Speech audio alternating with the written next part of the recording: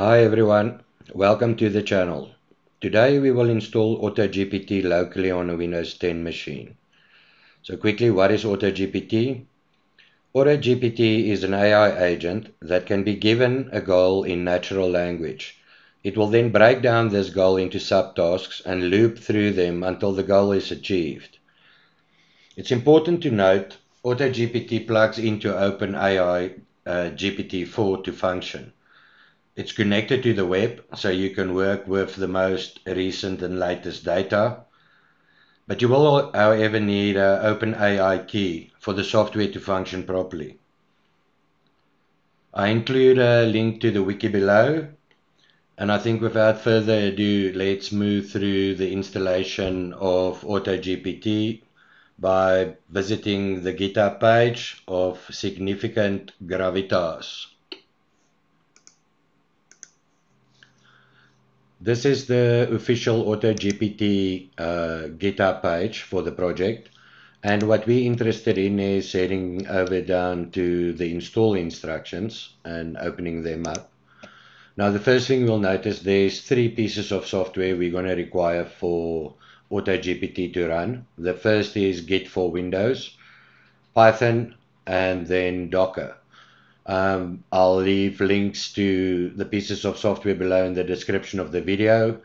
And we want to head over to Git for Windows, grab the latest version from the website, Python, grab the latest version from the website, unless you're using something like Stable Diffusion, and then uh, grab the latest version of Docker Desktop for Windows.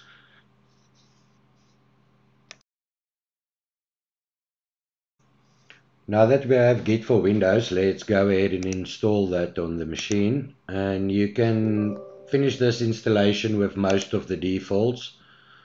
I'll uh, just select a different editor as I prefer using Notepad++. So let's go ahead and get Git for Windows installed.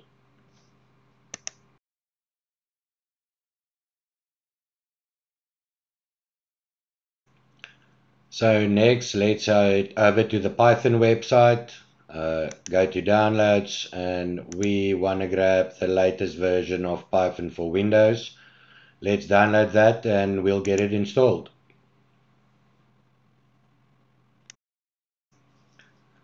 So when we install Python, uh, let's get the installer going. I think there's one thing that's important that you need to take note of and that's to enable this check mark for Python to add it to the path. And then you can go ahead, accept the defaults and get Python installed on the machine.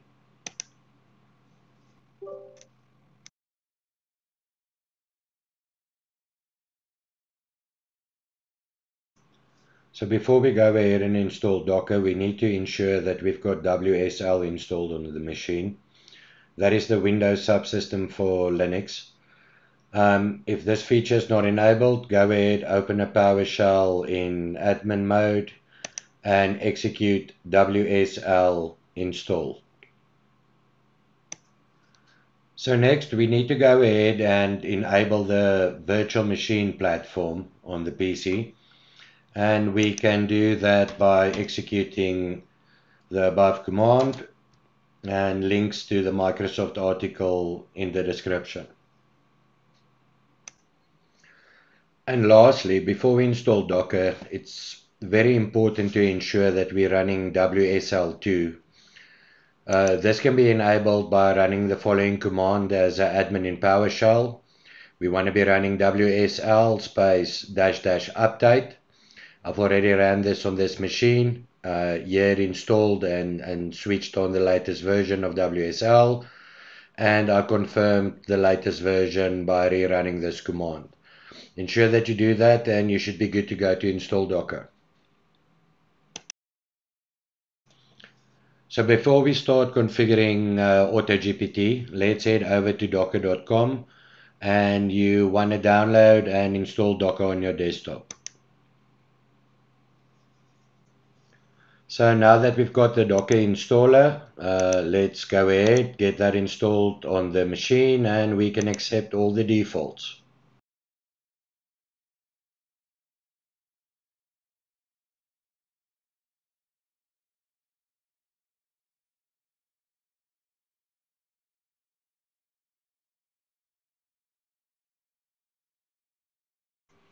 Now that the PC rebooted, let's go ahead and start up Docker Desktop. Make sure this is started and then we can start configuring and installing AutoGPT.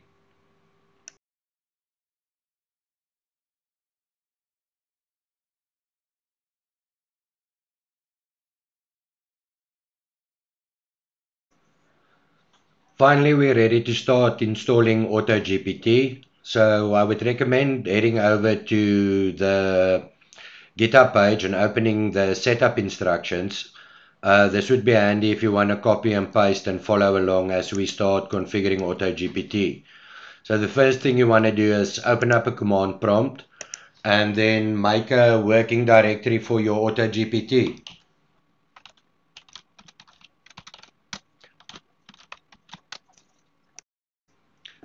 Next, head over to the setup instructions. Go to the section where it says set it up with Git. We want to now clone the AutoGPT latest stable release from the repository to our directory. So grab this command, git clone slash b, and we just want to execute that in our command prompt we've got open here. So go to your AutoGPT directory, paste that command in, and let's clone this uh, from the Git repository.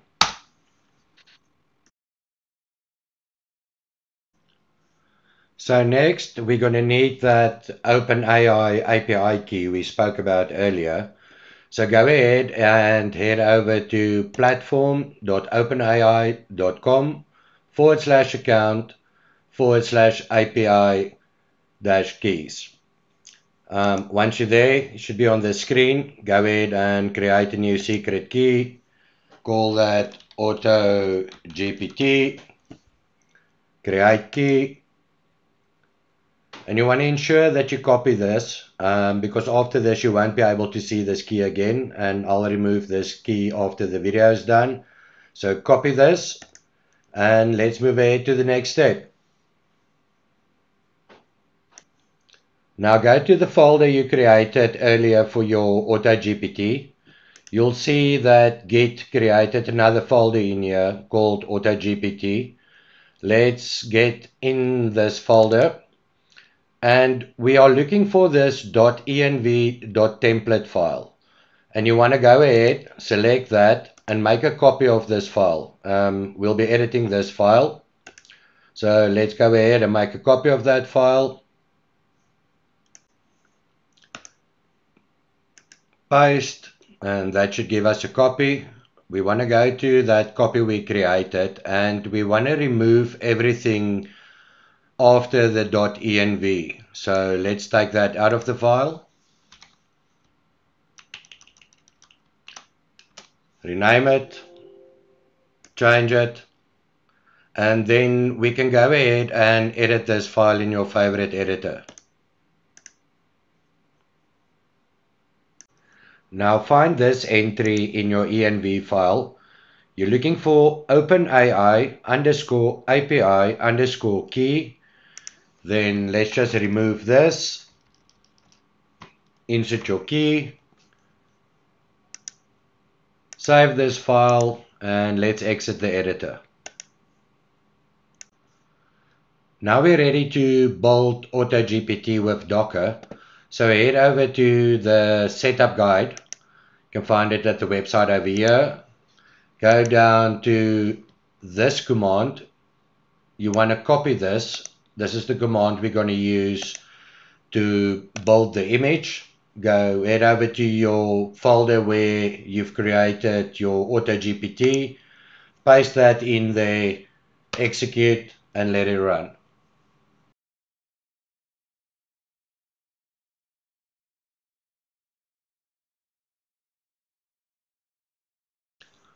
And when the build is complete, what you want to see in your command prompt is everything nice and blue and no errors. And also open Docker in the taskbar and you want to see our auto GPT image that's been created in Docker for you. And then we should be ready. The next step will be to launch auto GPT. Now finally, let's head back to the setup guide we are now ready to execute the run command. So let's go over here, copy this command, go back to the command prompt, paste it in there, and this will launch AutoGPT finally.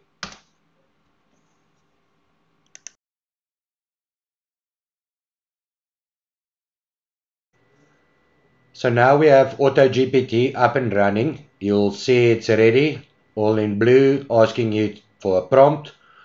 For those who just wanted to get AutoGPT up and running, thank you for watching the video this far. Um, I'm quickly going to proceed and just quickly show you a use case for AutoGPT.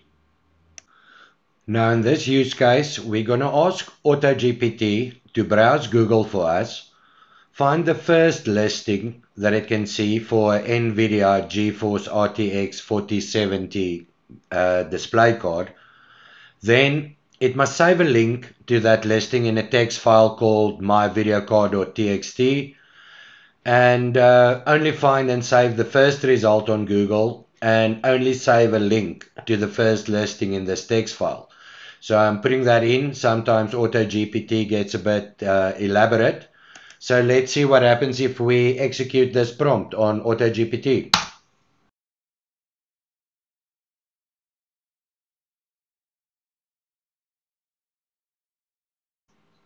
Now this is where the power of GPT-4 comes in for AutoGPT to start figuring out what it needs to do and apply some logic and reasoning.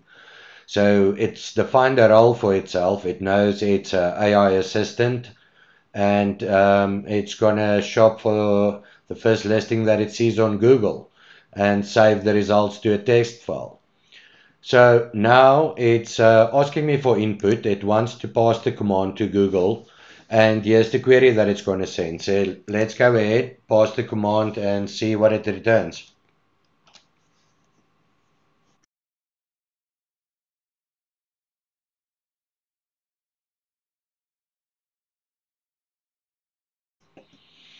Now AutoGPT scoured the web and it's actually coming back to me. And again, here's the intelligence of GPT-4 at the back of this. So it's uh, not only ran the search for the GeForce RTX 4070, it's also ran the search for the RTX 4070 Ti. Um, it's now saying it's ready to save these results as requested in a text file. And here you can see the workspace folder that the myvideocard.txt file is going to be created in. It's again asking me for permission to continue we're going to go ahead and say uh, let's wrap up and create the file.